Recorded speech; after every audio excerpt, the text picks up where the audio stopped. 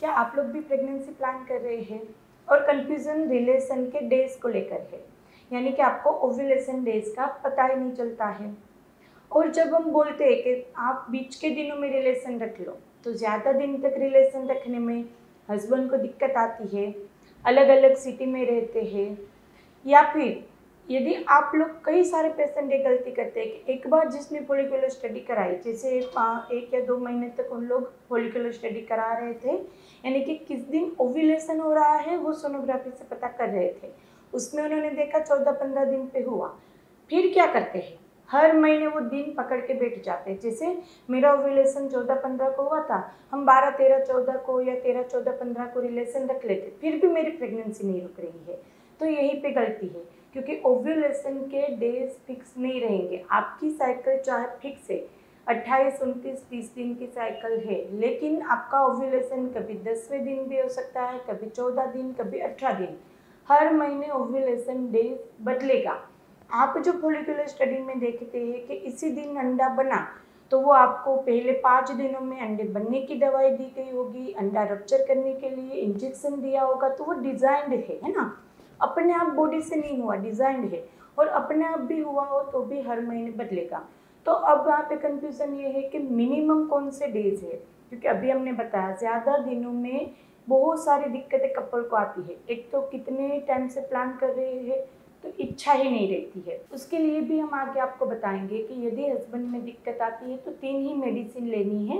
यदि वो मेडिसिन लेंगे तो within one month husband की जो इच्छा नहीं होती है या उन दिनों में जो प्रेशर के चलते रिलेशन नहीं बन पाते वो दिक्कत नहीं आएगी। तो वो हम आगे डिस्कस करेंगे। तो यहाँ पे हम आपको इस तरह से स्पेसिफिक डेज़ बता रहे हैं। यदि आपकी बॉडी में वो दो ही सिम्टम दिखे तो आप उन दिनों के आसपास में रिलेशन रख देंगे, बाद में बंद कर देंगे तो चलेगा। तो सबसे पहले तो बात करते हैं कि ओव्यूलेशन डे किस तरह से डिसाइड करते हैं। देखो, यदि आपको पता चलता है तो ये दो मेन सिम्टम है। एक है वजाइनल डिस्चार्ज आपका डिस्चार्ज होगा, वो पतला हो जाएगा जेली जैसा ट्रांसपेरेंट हो जाएगा। और जिस टाइम पे अंडा रप्चर होगा, उस टाइम पे थोड़ा पेट में दर्द होगा। यदि सिम्टम पता नहीं चलता है तो। तो अभी हमने बताया कि यदि आप दोनों साथ में रहते हैं। जैसे वहाँ पे कोई आना जाना नहीं हस्बैंड वाइफ एक ही घर में साथ में रहते हैं। तो बीच के दिनों में रिलेशन अल्टरनेट डे रखिए। अल्टरनेट डे में दिक्कत आती है। तो आप दो दिन का गैप ले सकते हैं। हस्बैंड की रिपोर्ट पहले करा लीजिए कि वो बिल्कुल ठीक है। तो पहला रिलेशन आप आठवें दिन के आसपास बनाइए। लास्ट रिलेशन बीसवें दिन के आसपास बनाइए। बीच में एक दो दिनों में, एक दो दिनों में रिलेशन रखिए। यदि रात में इच्छा नहीं है, प्रेशर है मूड नहीं बना, थकान है, दूसरे दिन सुबह में रिलेशन रख सकते हैं, दोपहर में रख सकते हैं। काफ़ी सारे पेशेंट के बोलते हैं कि सुबह रिलेशन रखेंगे, फिर काम पे जाएँगे तो सब बाहर आ जाएगा। वो नॉर्मल है, बाहर आ ही जाएगा, अंदर कहाँ रहेगा लिक्विड और 98 परसेंट वाटर होता है, वो बाहर आएगा। जो स्पर्म होंगे, वो दीवार पे चिपक ही जाएँगे। तो सुबह में भी रिलेशन रखते हैं, दोपहर में रिलेशन रखते हैं आप? तो रिलेशन के बाद दस मिनट ले लो फुल पोजिशन ट्राई कीजिए।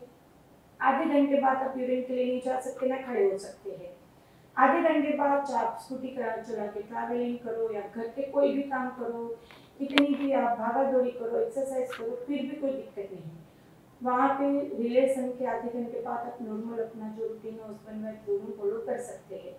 तो पहला रिलेशन आठवें दिन के आसपास रखिए लास्ट रिलेशन बीसवें दिन के आसपास रखिए नॉर्मल साइकिल की बात कर रहे हैं यदि आपकी साइकिल थर्टी फाइव डेज़ की है तो तो आपको लास्ट रिलेशन पच्चीस के आसपास रखना है पहला रिलेशन दस से ग्यारह के आसपास रखिए लास्ट रिलेशन पच्चीस के आसपास रखिए यदि आपकी साइकिल चालीस दिन के अंदर की है तो लास्ट रिलेशन आपका पच्चीस के आसपास होना चाहिए अब जो लोग अलग अलग रहते हैं उनका क्या क्योंकि उनको तो ज़्यादा दिन की छुट्टी नहीं मिलती है हर महीने रेगुलर का खर्चा कितना बढ़ जाता है? तो तो क्या करना है? तो जनरली अभी मैंने बताया हस्बैंड की रिपोर्ट सही है तो हस्बैंड के स्पर्म अंदर जाने के बाद दो तीन दिन ज़िंदा रहेंगे। और ओव्यूलेशन यदि आपकी नॉर्मल साइकिल है तो मिक्स बाय मिक्स आपका अठारह उन्नीस दिन तक हो जाएगा। तो आप ग्यारहवें दिन से लेकर पंद्रह दिन तक साथ में ले लीजिए। तो उसी के पंद्रह दिन के बाद आप अलग हो जाएँगे तो सोलह सत्रह अठारह को भी आपको ओव्यूलेशन होगा तो भी नहीं होगा। अब इरेगुलर बिल्कुल साइकिल है, जो पीरियड ही नहीं आते, बीस महीने, दो महीने साइकिल ठीक करनी पड़ेगी। होम्योपैथिक दवा लीजिए डार्क एक्सरसाइज कीजिए साइकिल ठीक कीजिए। और यदि इसमें भी आप ट्राई कर रहे हैं तो फिक्स नहीं होगा, बिल्कुल फिक्स नहीं होगा। तो आप क्या करिए दसवें दिन से दो तीन दिन पे दो तीन दिन पे एक बार रिलेशन रखो चार अंडा बने तो प्रेगनेंसी के चांस रहे। फिक्स डेज़ इतने टाइम पे रख इतने टाइम पे बंद कर दो, वो बिल्कुल पता ही नहीं कब पीरियड आएगा तो उसमें पॉसिबल नहीं है। तो ये बात हो गई कि रिलेशन आप किस किस दिन पे रख सकते हैं। बाकी आप किट में चेक करने के लिए सोच रहे हो फोलिकुलर के लिए सोच रहे हो तो जिस दिन अंडा बना, दो तीन दिन रिलेशन रखेंगे, आगे पीछे में रखेंगे तो भी चलेगा। अब बात करते हैं कि उस मेडिसिन के बारे में यदि हस्बैंड को दिक्कत आ रही पहले तो ये हाई पे क्रिएट करना छोड़ दो, आज मेरा रिलेशन नहीं है, अभी फर्टाइल विंडो चल रहा है, आपको कैसे भी करके रिलेशन रखने हैं, उसमें कोई नहीं रख पाएगा।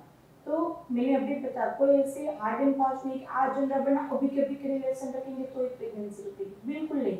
आज वो रिलेशन है, उसके दो दिन पहले आपका रिलेशन बना था, लेकिन अंडा दो दिन बाद हुआ है। फिर आपने कभी रिलेशन नहीं रखे तो भी प्रेगनेंसी रुकेगी। तो वहाँ पे यदि आपका प्रेशर क्रिएट नहीं करेंगे तो और स्मूथ रहेगा ड्राइनेस नहीं रहेगी आपको, और हस्बैंड की तरफ़ से भी कोई दिक्कत नहीं आएगी। फिर भी हस्बैंड को दिक्कत आती है। तो हस्बैंड ये मेडिसिन ले सकते हैं। Ashwagandha mother tincture, damiana mother tincture प्योरिंबिना mother tincture twenty twenty drops दिन में तीन बार प्लेन में आधे कप पानी में मिक्स करके। तो वहाँ पे उनको जो दिक्कत आती है, वो नहीं आएगी। फिर भी यदि दिक्कत आए आपको प्रेगनेंसी रुकने में दिक्कत आती है, अंडे बनने में दिक्कत आती है, दस में से आठ लोगों के अंडे बिना हार्मोन के नहीं बनते हैं। पहले महीने हमारे यहाँ दवा लेते फोलिकुलर कराते अंडे बनने लगते हैं। तो यदि अंडे बनने के लिए हार्मोन वगैरह कुछ ले रहे हैं रप्चर के लिए इंजेक्शन ले रहे हैं, नहीं ज़रूरत हो मेडिसिन से अपना ग्रोथ भी होगा रप्चर भी होगा इम्प्लांटेशन की मेडिसिन भी देंगे। एक ही बार पीरियड के दूसरे तीसरे दिन से चालू करेंगे, बीच में कहीं चेंज नहीं होगी, सब बॉडी अपने आप हार्मोन ठीक करके करेगी। तो होम्योपैथिक मेडिसिन आप ले सकते हैं। इसके लिए हमारे अपॉइंटमेंट बुक कराना चाहते हैं पे नंबर दिया गया है। आप व्हाट्सएप पर मैसेज कर सकते हैं, मुझे अपॉइंटमेंट चाहिए, आगे मेरी टीम आपको गाइड कर देगी। हॉस्पिटल विज़िट करना चाहते हैं, माननीय गुजरात में हॉस्पिटल विज़िट आप कर सकते हैं। यदि आपकी ट्यूब बंद है सीस्ट है हस्बैंड रिपोर्ट ठीक नहीं है सर्जरी आई हो आई सजेस्ट किया है, मत कराइए। फीडबैक देखिए चैनल पे जाके कितनी इजीली कितनी जल्दी से कंसीव हो जाता है। एक बार अपनी बॉडी को नेचुरल तरीके से हील करने की ट्राई कीजिए। वीडियो अच्छा लगे तो लाइक एंड शेयर कर दीजिएगा। सब्सक्राइब कर लीजिए चैनल का आपके लिए बिल्कुल फ्री है। दूसरी भी कोई क्वेरी हो तो कमेंट बॉक्स में पूछ सकते हैं या इंस्टाग्राम पे भी हमें फॉलो कर सकते हैं। तो चलिए फिर जल्दी से मिलेंगे। तब तक के लिए शेयर दीजिए बाय